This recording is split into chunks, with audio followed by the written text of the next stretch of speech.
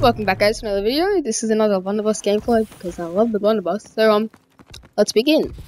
Start off here, again, a single. Now, if the Blunderbuss didn't take this long to reload, it probably would have been a better feed. But um, yeah, so we pick up another single there. And short, like straight after I reload, another single dude comes in and I knife him. So, pretty good. And I'll see you in the next video guys. Thanks for watching guys.